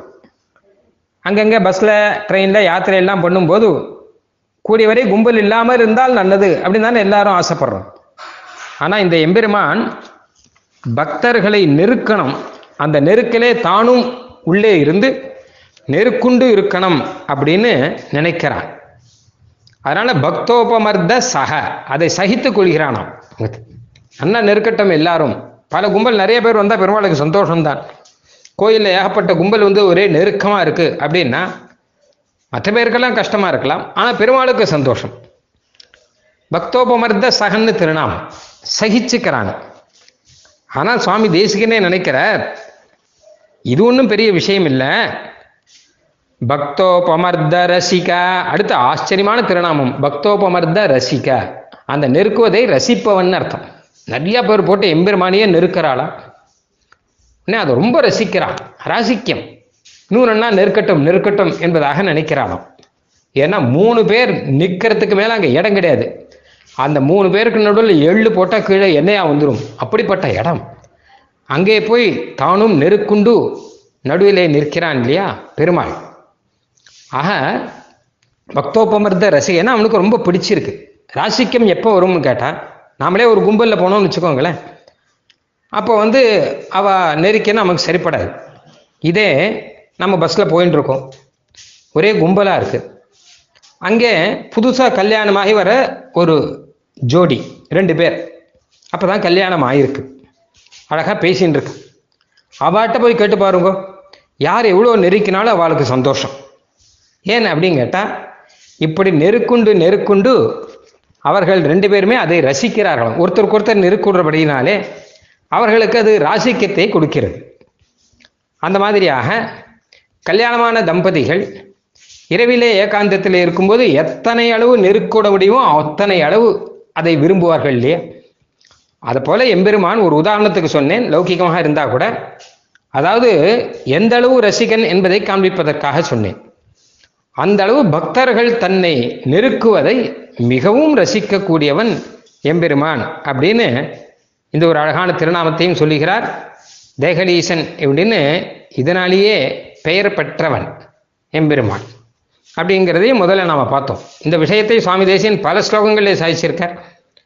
காசாரபூர்வ கவிமுக்கிய விமர்த ஜன்மா பன்னாதடேக்ஷு சுபகஸ்ய ரசோ பகுஸ்தே त्वत्पाद पद्ममधुनि त्वदनन्य भोग्ये நூனம் சமாசிரயதி நூதன சர்க்கராத்வம் எம்பெருமானே பெண்ணை ஆற்றங்கரையிலே இருக்கக்கூடிய ஒரு கரும்பா எம்பெருமான் பெண்ணை ஆற்றங்கரையில் நிறைய கரும்பு இருக்கு ஏகப்பட்ட கரும்பு இருக்கு அந்த கரும்பெல்லாம் இருக்கட்டும் எம்பெருமானே ஒரு அழகான கரும்பு ஏன்னா பரமபோக்கியமாக பரம மதுரமாக இருக்கக்கூடிய ஒரு கரும்பு மற்ற கரும்பெல்லாம் மாதிரி இல்லை இது ஆச்சரியமான ஒரு கரும்பு பெண்ணையாற்றங்கரையில் இருக்கு அந்த கரும்பை கொண்டு போய் மூணு பேருக்கு நடுவில் கொடுத்தா என்ன ஆகும்?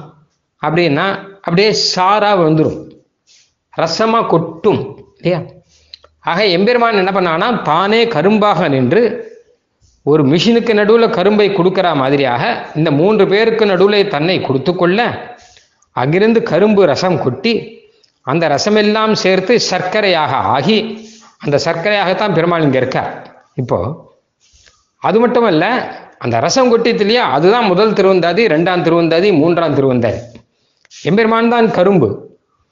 அங்கே ரசம் கொட்டித்து இல்லையா? அதான் ஆழ்வார்கள் பாடின மூன்று பிரபந்தங்களும் அந்த கரும்பு சாறு போல இருக்கான் அந்த சாரெல்லாம் கொட்டி சேர்த்து வச்சிருக்கிற இடம் அங்க அர்ச்சாவதாரத்தில் பெருமாள் சர்க்கரை கட்டியாக சர்க்கராயுதம் சொல்றாரு இல்லையா? அந்த மாதிரியாக பெருமாள் இருக்கானாம்.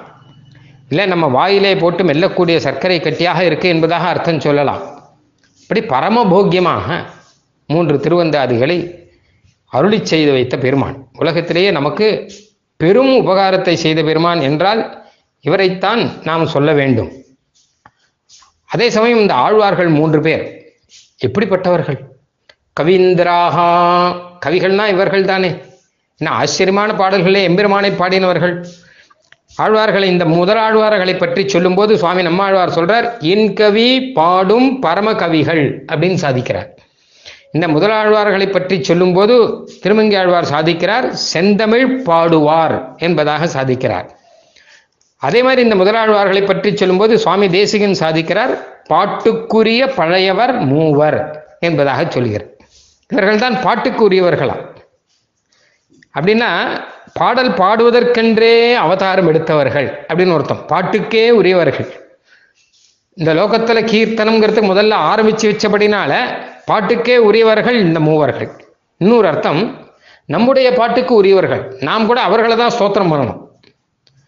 இந்த மூன்று ஆழ்வார்களை தான் நம்ம எப்பவுமே ஸ்தோத்திரம் பண்ணி கொண்டே இருக்க வேண்டுமா அப்படி பாட்டுக்குரிய பழையவர் மூவரை பண்டொருகால் மாட்டுக்கு அருள் தரும் ஆயன் மலிந்து வருத்துதலால் நாட்டுக்கு இருள் சக நான்மறையந்தி நடை விளங்க வீட்டுக்கு இடை கழிக்கே வெளிக்காட்டும் அம்மெய் விளக்கே என்பதாக அற்புதமான ஒரு பாசுரம் தமிழிலே சுவாமி தேசியன் இதை சொல்றார்.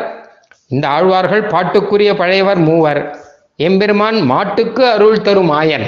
அதாவது கோப கோபன் இல்லையா? கோ பசுமாடு அதை ரட்சிக்கக்கூடியவன். ஆயன் என்கிற திருநாமத்திலே திரு ஆயனாராக சேவை சாதிக்கக்கூடிய எம்பெருமான் அங்கே உற்சவ பெருமான் எழுந்தொழி இருக்கிறார் ஆகையினாலே கிருஷ்ணா கிருஷ்ணபுரம் கிருஷ்ணக்ஷேத்திரம் என்பதாகத்தான் அந்த ஊருக்கு பெயர். கோபபுரம் என்பதாகத்தான் பெயர். அதனாலே மாட்டுக்கருள் தரும் ஆயன் மலிந்து வருத்துதலால் அவன் உள்ளுக்குள்ள போய் நெருக்குண்டி எவர்களையும் கஷ்டப்படுத்துறானாம். அப்ப என்ன ஆச்சுன்னா நாட்டுக்கு இருள் சேக. நாட்டிலே அஜ்ஞான இருட்டு போய் நான்மறை அந்தி நடை விளங்க வேத மார்க்கம்னு சொல்லக்கூடிய மார்க்கம் இருக்கு இல்லையா? அது பிரகாசிக்கிறதா? இருட்டல் மார்க்கம் தெரியாது. எல்லாரும் கஷ்டப்படுறா. இந்த மார்க்கமா அந்த மார்க்கமா இப்படி போனோமா அப்படி போனோமா கஷ்டப்பட்டு இருக்கும்போது வேத மார்க்கம் இதுதான் அப்படின்னு காண்பிக்கக்கூடிய ஒரு விளக்கு அதுதான் இவர்கள் ஏற்றின விளக்கு.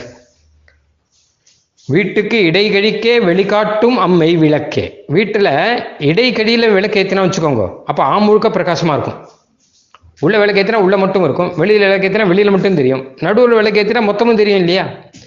அந்த மாதிரியாக இது சகல வேத மார்க்கத்தையும் பிரகாசம் படுத்தக்கூடியதாக ஒரு விளக்காக இருக்கு. தீபேன கேனச்சித் அசீத ரிச்சா நிசீதேன். அப்படிலாம் சாதிக்கிறார். இது தீபம் என்றதாக தான் சொல்வார்கள் ஏன்னா அஜ்ஞான இருட்டை போக்கி நமக்கு எம்பெருமானை பிரகாசனம் பண்ணக்கூடிய ஒரு தீபம் இது அப்படின்னு. அது மாத்திரம் இல்லை ஒரு ஆச்சரியமான ஓர் இரவு என்று சொல்லக்கூடிய அற்புதமான ராத்திரியிலே ஏற்றின தீபம். அன்னைக்கு ராத்திரி தானே இந்த வைபவம் நடந்தது. ஓர் இரவுன்னா ரெண்டு தான். ஒன்று அன்னைக்கு கிருஷ்ணன் அவதாரம் பண்ண இரவு இருக்கு இல்லையா? அதுதான் ஒருத்தி மகனாய் பிறந்து ஓரிரவில் ஒருத்தி மகனாய் ஒளிந்து வளரன்னு சொல்லக்கூடிய அந்த இரவு. அதை கொண்டாடுகிறோம் இல்லவா? அதை போல அடுத்தது நாம் கொண்டாட வேண்டிய ஓர் இரவு அப்படின்னா இதுதான். ஏன்னா ஆழ்வார்களை நெருக்கி எம்பெருமான் திவ்ய பிரபந்தத்தை நமக்கு அருளி செய்ய வைத்த வைபவம் நடந்த இரவு அது.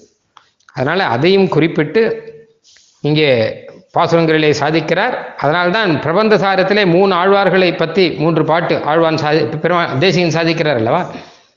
அதுவும் அழகாக சாதிக்கிறார். ம்.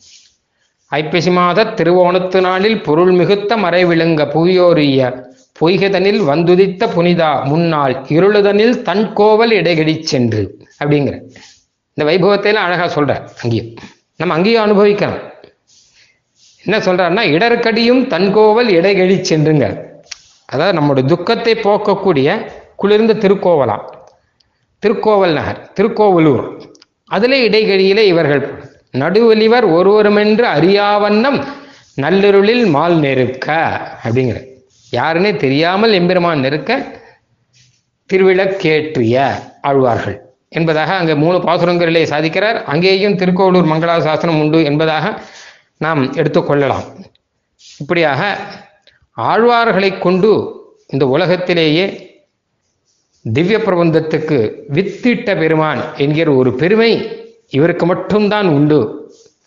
அதனால் தேகலீசன் என்கிற திருநாமத்திலே அவர் புகழ் பெற்று இருக்கிறான். இடைகழி பெருமான் இடைகழி எம் மாயவன் என்கிற பெருமான்.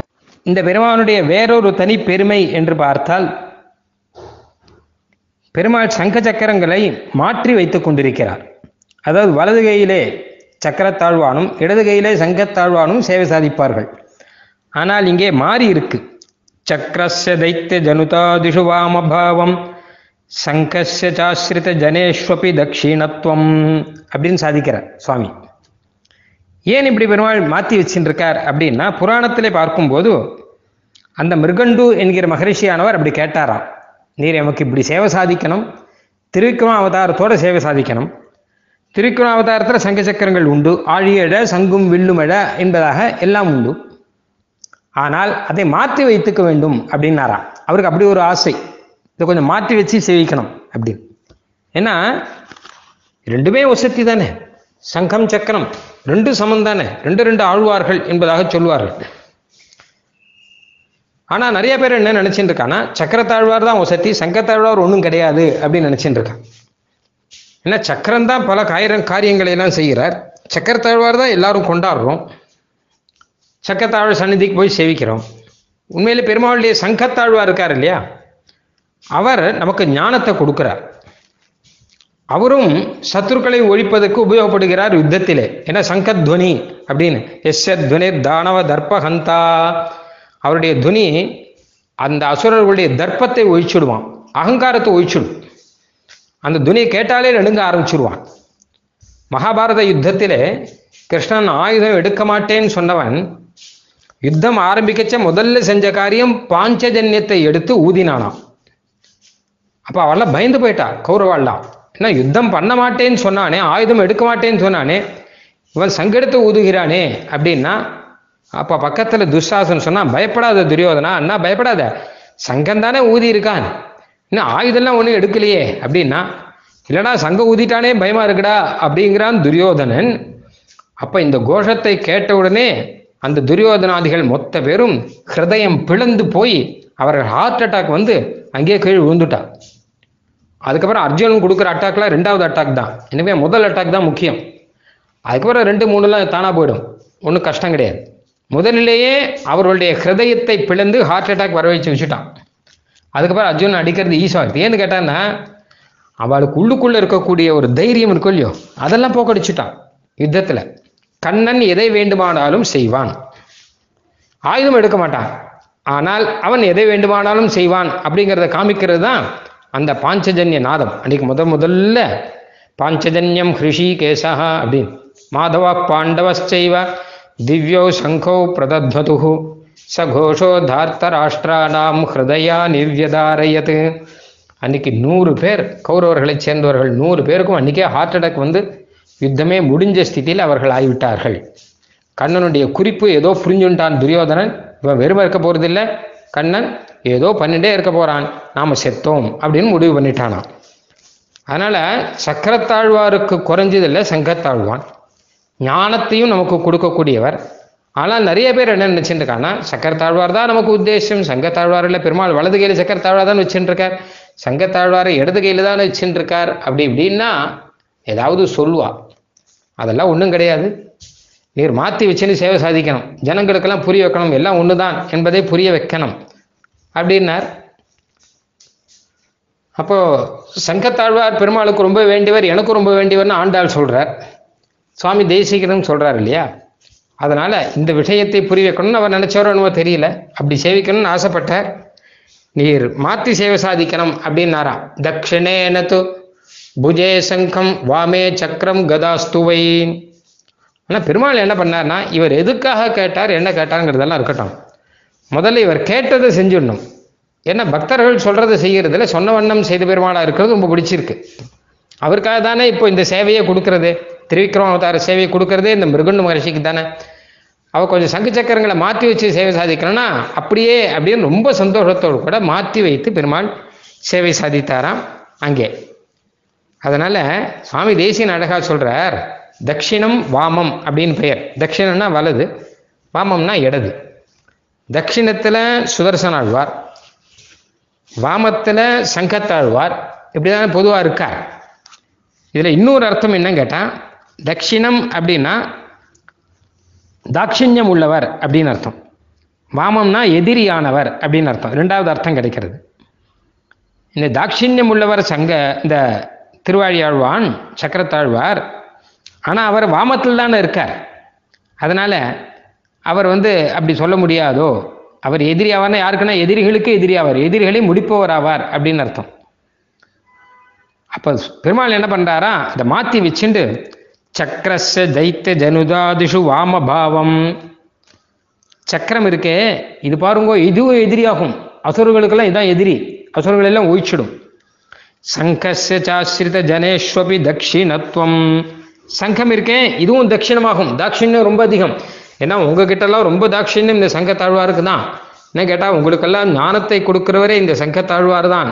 அதனால் இவரை சேவித்துக் கொண்டிருங்கள் என்பதாக இதை காண்பிப்பதற்காக வியத்தியஸ்ய நூ நம் அனையோகோ கர சம்பிரயோகம் இதை கொஞ்சம் மாற்றி வைத்துக்கொண்டு பெருமாள் இங்கே சேவை சாதிக்கிறாராம் வாம தட்சிணத்தை மாற்றி கொண்டு விட்டார் வலது இடத்தை மாற்றி கொண்டு விட்டார் என்பதை சுவாமி தேசின் இந்த மாதிரியாக ரெண்டு அர்த்தத்தில் இங்கே சாதிக்கிறார். அது மட்டுமல்ல இதையே மனசில் வைத்துக்கொண்டு அந்த சச்சரித்திர ரட்சையிலே சொல்லும்போது கூட இந்த பெருமானை மங்களாசாசனம் செய்தொழுகிறார் அதாவது என்ன கேட்டால் சச்சரித்த ரக்ஷையில் சுதர்சன பாஞ்சஜன்ய தாரணா அதிகாரம் அப்படின்னு ஒரு அதிகாரம். நாம் சங்க சக்கரங்களை எல்லாம் அடையாளமாக சமாசயனம் செய்து கொண்டு கைகளிலே தரித்து கொண்டிருக்கிறோம் இல்லவா? அதை பற்றியான நிறையா பிரமாணங்கள் எல்லாத்தையுமே சொல்கிறார் சுவாமி. இங்கே எதுக்காக இதை நம்ம சாதிக்கணும் அப்படிங்கிறதெல்லாம். அயம் அனவம சூக்தைஹி ஆதிபக்தைர்யதாவத் விசதித நிஜதத்வ விஸ்வமவ்யாதபவ்யாத். ரதச்சரண நிரூட வியஞ்சனானாம் ஜனானாம் துரித மதன லீலா தோஹலி தேகலீ சஹா பாவங்களை போக்கடிப்பதை லீலையாக செய்பவன் எம்பெருமான். நம்மளுடைய பாவங்கள்லாம் அநேக பாவங்கள் இருக்கு. அனந்த பாவங்கள் அப்படின்னு சொல்றார் கத்தியத்தை ஏன்னா எம்பெருமானுக்கு எப்படி அனந்த குணங்கள் இருக்கோ அது மாதிரி நமக்கு அனந்த பாவங்கள் இருக்கு. முடிவே கிடையாது. ஆனா இதை எம்பெருமான் போக்கடிக்கலாம் அவன் எவ்வளோ கஷ்டப்படணும். அப்படின்னா ஒரு கஷ்டமும் இல்லை லீலையாகவே நான் அதை செய்வேன் அப்படிங்கிறானா பெருமான். ஏன்னா சங்கல்பத்தில் தானே மொத்தம் நடக்கிறது. துரித மதன லீலா தோகலி. அதனால ஒரு லீலையாகவே நம்ம பாவங்களையாம் எம்பெருமான் போக்கடிப்பணும் அப்படிங்கிறதை காண்பிப்பதற்காக என்ன பண்றானாம்? சங்க சக்கரத்தை மாற்றி வச்சுட்டு இருக்கான் இந்த பக்கம் அந்த பக்கம். ஏன்னா எனக்கு எல்லாம் ஒரு வேடிக்கை தான்ப்பா சில பேருக்கு வலது கையில் வலது கையால் பிரயோகம் பண்ணால் வலது கையால் மட்டும்தான் வரும். லெஃப்ட் ஹேண்ட் வராது. சில பேருக்கு லெஃப்ட் வச்சாலும் லெஃப்ட் மாத்திரம்தான் வரும். ரைட்டு வராது. இவர் எப்படி பக்கம் வச்சாலும் இடதானாலும் சரி வலதானாலும் சரி எதுவானாலும் சரி எனக்கு அதெல்லாம் ஒன்றும் கிடையாது. ஏன்னா எல்லாம் ஒரு லீலை தான். சங்க சக்கர பிரயோகங்கிறது ஒரு லீலை. சங்க பிரயோகங்கிறது ஒரு லீலை. எல்லாம் ஒரு லீலை தான். ஒரு லீலையாகவே உங்கள் பாபத்தை நான் தொலைத்திடுவேன். மொத்த பாபத்தையும் தொலைச்சிடுவேன் அப்படின்னா எனக்கு புரியல. என்ன நீலை பண்ணி எப்படி நீங்கள் எங்கள் பாப்பத்தை போக்கடிப்பார்? இதுக்கு என்ன வழி அப்படின்னு கேட்டால் ஒன்றுமில்லை நான் சங்க சக்கரம் தரிச்சேன்னு இருக்கேன் இல்லையா? அந்த அடையாளத்தை நீங்களும் தரிச்சுக்கோங்க. அதே மாதிரி சங்க சக்கரத்தை தரிச்சுக்கோங்க. தரிச்சிருந்தால் நான் நீலையாக மொத்தத்தையும் போக்கடிச்சிடுவேன். வேற ஒன்றும் வேண்டாம் எனக்கு.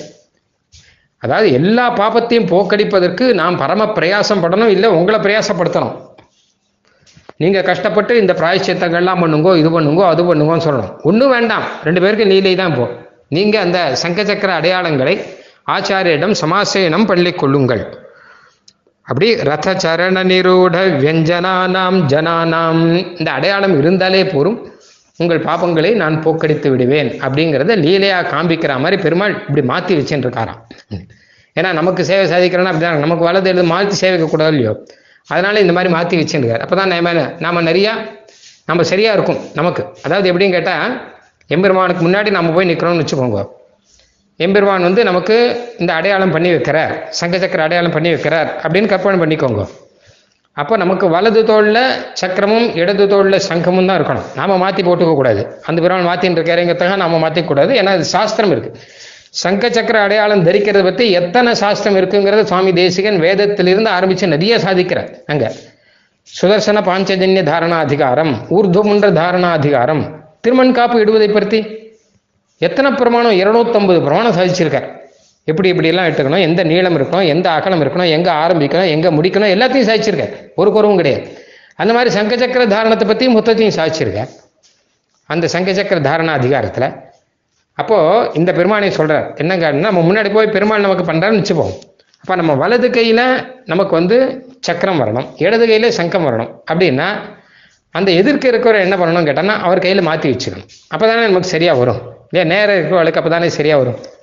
அதனாலே அப்படி நமக்கு சமாசேனம் பண்ணக்கூடிய ஒரு நிலையிலே பெருமாள் இருக்கான்னு வைத்துக் கொள்ளலாம் என்பதாக உத்தமூர் சுவாமி அற்புதமாக ஒரு விஷயம் சாதிச்சிருக்கார். அயம் அனவம சூக்தைஹி ஆதிபக்தேர் யதாவத் விசதித நிஜ தத்துவா ஆதிபக்தர்களான முதலாழ்வார்களே பாடப்பட்ட பெருமான் தான் நமக்கு இந்த அனுகிரகத்தையும் பண்றார். இந்த சுதர்சன பாஞ்சஜன்யத்தை தரிச்சின்றால் நான் பாபத்தை போக்கடிப்பேன்கிறதை நமக்கு உணர்த்தக்கூடிய ஒரு மகா அனுகிரகம் இருக்கு இல்லையா? அதுவும் அந்த பெருமாள் தான் நமக்கு பண்றார் என்பதாக சாதி இப்படி பலவிதமான ஸ்துதிகள் பலவிதமான அனுபவங்கள் எல்லாத்துக்கும் மேலே கடைசியில் எம்பு சுவாமி தேசியன் சோத்திரங்களிலே பார்க்கலாம். கடைசியில் முடிக்கும்போது ஒரு சரணாகதி செய்வதாக தன்னுடைய ஆகிஞ்சன்யத்தை சொல்லி முடிப்பார். நீடோதரான் நிபதிதஸ்ய சுகார்பகஸ்ய திராணேன நாத விஹரன்னிவ சார்வபௌமஹா. ஆதாய கோபநகராதிபதே ஸ்வயம் மாம் கிரீடாதயாவியதிகரே ந கிருதார்த்தயத்வம். ஒரு கிளியானது ஒரு கிளி குஞ்சு ஒன்று இருக்கு சின்னது. அது மேலே கூட்டிலேருந்து கீழே விழுந்துருத்துன்னு வச்சுக்கோங்க. அந்த கிளி பெருசு இருக்கும் இல்லையோ? அம்மா அப்பா கிளி. அதெல்லாம் இப்படி இறை தேட போயிடுத்து இந்த குஞ்சு மரத்து மேலே இருக்கிற குஞ்சு அங்கிருந்து கீழே விழுந்துருத்து அப்போ என்ன பண்ணுவான்னா அங்கே ஒரு ராஜா அந்த பக்கம் போனான். ஐயோ குஞ்சு குழு விழுந்துருத்தேங்கிறதுக்காக அதை எடுத்து வளர்த்து அதுக்கு ஆகாரங்கள்லாம் கொடுத்து லீலையாகவே அதை பார்த்து சந்தோஷப்படுவான் நல்லவனாக இருந்தா இல்லையா? அந்த மாதிரியாகத்தான் நான் இருக்கேன். நானும் சுயமாக எனக்கு ஒன்றும் ஆகாரத்தை சம்பாதிக்க தெரியாது சுயமாக பறக்க தெரியாது. நானும் கீழே விழுந்துட்டேன். அந்த ராஜா எடுக்கிற மாதிரி நீரே தான் எம்மை எடுத்துருள வேணும். எனக்கு வேறு எதுவும் தெரியாதோ இல்லையோ? அதனால் நீரே தான் ஒரு ஜீவாத்மாவை எடுத்து நீரே தான் அந்த ஜீவாத்மாவுக்கு ஆகாரங்கள்லாம் கொடுத்து சுதர்சன பாஞ்சஜன்யங்கள் கொடுத்து அது சொல்கிறதுக்கு இந்த மூன்று திருவா திருவந்தாதி முதல் திருவந்தாதி ரெண்டாம் திருவந்தாதி மூன்றாம் திருவந்தாதி எல்லாத்தையும் கொடுத்து நீரே தானே பரம அனுகிரகம் பண்றீர் என்பதை உணர்த்தும் விதமாக இங்கே இந்த உதாரணத்தை சொல்றார். சுவாமி தேசிகனுக்கும் கிளிக்கும் நெருங்கின சம்பந்தம் உண்டு. பல இடங்கள்ல மடக்கிளியை கைகூப்பி வழங்கினாலேன்னு சொல்ற மாதிரி தம்மை கிளியாகவே சுவாமி தேசிகன் சாதித்து கொண்டிருக்கிறார். நமக்கெல்லாம் இந்த மாதிரி ராஜகுமாரன் கிளியை எடுத்து காப்பாற்றுவதா போலே நம்ம எல்லாம் பெருமாள் தானே எடுத்து இந்த மாதிரி நல்ல விஷயங்களை எல்லாம் கொடுத்து நம்மை காப்பாற்றி கொண்டிருக்கிறான் அப்படிங்கிறது இதனுடைய சாரம். ஆத்மோன்னதிம் பரநிகர்ஷம் அபீக வாஞ்சன்னு நிம்னேபி மோகஜலதௌ நிபதாமி பூயா நமக்காக சுவாமி தேசியன் அருள் செய்த வார்த்தைகள் எல்லாருக்கும் ஒரே ஆசை தான் என்ன கேட்டால் நான் தான் பெரியவனா இருக்கணும். ஆத்மோன்னதி. தன்னை பற்றி சொல்ல ஆரம்பித்தால் நிறைய சொல்லுவோம். நான் இப்படிப்பட்டவன் அப்படிப்பட்டவன். மேலும் மேலும் நான் இன்னும் நன்னா இருக்கணும். நிறைய ஐஸ்வர்யம் வேணும். நிறைய புகழ் வேணும். இப்படின்னு எல்லாருக்கும் இதே ஆசை. இது ஆசை மாத்திரம் இருந்தால் கூட பரவாயில்ல. ஓரளவு தப்பு கிடையாது. அவன் நன்னா இருக்கக்கூடாது. இன்னொருத்தன் இருக்கான் இல்லையோ? அவன் என்ன காட்டிலும் கீழே இருக்கணும். நான் எல்லா விதத்திலையும் மேலே இருக்கணும். நான் செல்வத்தினாலே நான் தான் உயர்ந்தவன். நான் பாண்டித்யத்தினாலே நான் தான் உயர்ந்தவன். நான் என் பேச்சு திறமையினாலே நான் தான் உலர்ந்தவன். நான் என் புத்தி திறமையினாலே நான் தான் உயர்ந்தவன். நான் என்னுடைய சாமர்த்தியத்தினாலே நான் தான் உயர்ந்தவன். இன்னும் எதை எடுத்தாலும் நான் தான் பெரியவனா இருக்கணும் நான் தான் பெரியவனா இருக்கணும் அப்படின்னு ஆசைப்படாதவா யாரு? இந்த ஆசை மாத்திரம் பட்டா இல்லை அதோ அவன் என்னை காட்டிலும் கீழே போகணும் எனக்கு இருக்கிறது அவனுக்கு வரக்கூடாது அப்படின்னு ஆத்மோன்னதிம் பர நிகரிஷம் அபீக இதையே ஆசைப்பட்டு ஆசைப்பட்டுட்டே மொத்த பேரும் அதள பாதாளத்தில் விழுந்துட்டு இருக்கும் மொத்த பேரும். ஏன் அவன் தான் நல்லா இருக்கட்டும்? எனக்கு ஒன்றும் வேண்டாம். எனக்கு ஒன்றும் கிடையாது. அவன் நன்னா இருக்கட்டும். அப்படின்னு யாராவது என்னைக்காவது நினைத்தது உண்டா? அப்படி இருக்கக்கூடிய நம்மளுடைய இந்த மோகம் இருக்கு இல்லையா? இதிலிருந்து மோக ஜலதோ நிபதாமி பூயா. ஒரு சமுத்திரத்தில் விழுந்துட்டா எப்படி வெளியில் வர முடியாமல் தவிக்கிறோமோ? அந்த மாதிரி இந்த ஒரு மோகம் நான் தான் பெரியவனாக இருக்கணும். நான் தான். எனக்கு தான் புகழெல்லாம் வரணும். இன்னொருத்தர் புகழ்ந்துட்டா பொறுக்காது. அவட புகழறாரே அப்படின்னு பொறுக்காது. இப்படி ஒரு மோக ஜலதியிலே மோக சமுத்திரத்திலே நான் விழுந்து கிடக்கிறேன் என்பதாக நம்முடைய நிலைமையை அழகாக எடுத்து சொன்னார் சுவாமி. எல்லாத்துக்கும் மேலாக எம்பெருமான் கிட்ட ஒரே ஒரு பிரார்த்தனை.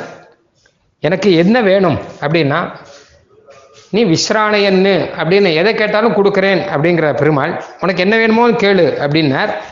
எனக்கு என்ன வேணும்னு நான் கேட்க போகிறதில்ல ஏன்னு கேட்டேன்னா எனக்கு கேட்க தெரியாது. அதனால் ஒரே விஷயம். அக்ஷீண கல்மஷ ரசோபி தவான் ரிசம் சியாத் லக்ஷ்மி சமக்ஷமபி விஜ்ஞபயாம்யபீதः பக்தோபமர்த ரசிக ஸ்வயம் அல்ப புத்தேகே என் மன்யசே மமஹிதம் தது ததுபாததீதாக எம்பெருமானே நான் ஒரே பாபங்கள்லேயே திளைப்பவன் எங்கிட்ட போய் என்ன வேணும்னு கேட்டால் நான் இந்த பாப்பத்தினாலே ஏதாவது ஒன்று கேட்டு வைப்பேன் ஏன்னா கர்மம் தானே கேட்க வைக்கிறது அப்போ நான் எதையாவது கேட்டு வைப்பேன்.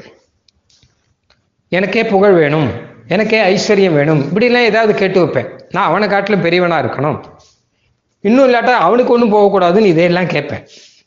வேண்டாம். எனக்கு எது நல்ல கட்டுறதுன்னு எனக்கு தெரியாது. நன்மை தீமைகள் ஒன்றறியேன். பின்ன நான் இப்போ ஒரு விஷயம் விஜாபனம் பண்ணுறேன் லக்ஷ்மி சமக்ஷமபி. பிராட்டியும் பக்கத்தில் இருக்கார் இல்லையா? அதனால் இந்த சமயத்துலாம் விஜாபனம் பண்ணணும். ஏன்னா அவர் தான் எனக்கு என்ன கேட்கணுங்கிறதே கரெக்டாக அந்த சைத்தன்யத்தை கொடுப்பவர். இந்த பெருமாள் பிராட்டியோடு சேர்ந்தே இருக்கார். தேனவரும் பூமேல் திரு திருக்கண்டேன் பொன்மேனி கண்டேன் அப்படி தானே இருக்கார். வாமனாவதாரத்தில் கூட பெரிய பிராட்டியை விடாதவர். இன்னும் திருக்கோவிலூரில் வந்தப்புறம் கேட்கவே வேண்டாம். ஆழ்வார் சொன்ன மாதிரி திருக்கண்டேன் அப்படின்னு பிராட்டியோடு கூட இருக்கார். சார்பு நமக்கு என்று ஆரம்பித்து தேனவரும் பூமேல் திரு என்பதாக சாதித்தார்னு சுவாமி தேசியன் எடுக்கிறார். இதை நமக்கெல்லாம் உபாயமாக இருக்கக்கூடியவர்கள் பெருமாளும் பிராட்டியுமாக என்பதை ஸ்பஷ்டமாக காண்பித்து கொடுத்த பெருமாள் இவர். அதனால் லக்ஷ்மி சமக்ஷம் பிராட்டியும் இருக்கும்போது நான் ஒரு விஷயத்தை அடியே விஜாபனம் பண்ணுறேன் என்ன கேட்டால் அல்ப புத்தி நான். எனக்கு கேட்கவும் தெரியாது ஒன்றும் தெரியாது. எனக்கு எது நல்லதோ அதை உம் திருவுள்ளப்படி நீர் செய்தொருள வேணும் வேற ஒன்றும் நான் கேட்க போகிறதில்லை இவ்வளோதான் என் மன்யசே மமஹிதம் ததுபாததீதாக எனக்கு எது நல்லது கெட்டதுன்னு எனக்கு தெரியாது. அதனால் எனக்கு எது பரமஹிதமோ அதை நீரே அனுக்கிரகம் செய்ய வேண்டும். அதனால் அது என்ன என்பதை நான் சொன்னால் அது தவறாக போய்விடும் என்பதாக இந்த ஸ்லோகத்தை சாதிக்கிறார்.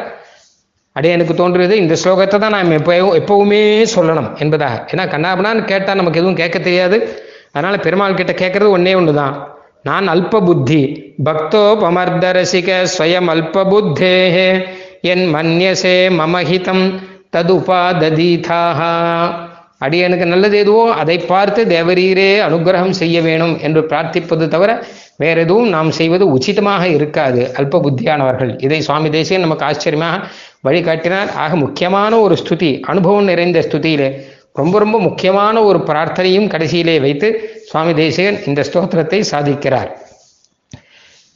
இந்த மாதிரியாக இன்னும் பல திவ்ய தேச அனுபவம் தொடர்ந்து பார்க்கலாம். கவிதார்க்கிக சிம்ஹாய கல்யாண குணசாலினே ஸ்ரீமதே வெங்கடேசாய வேதாந்த குரவே நம.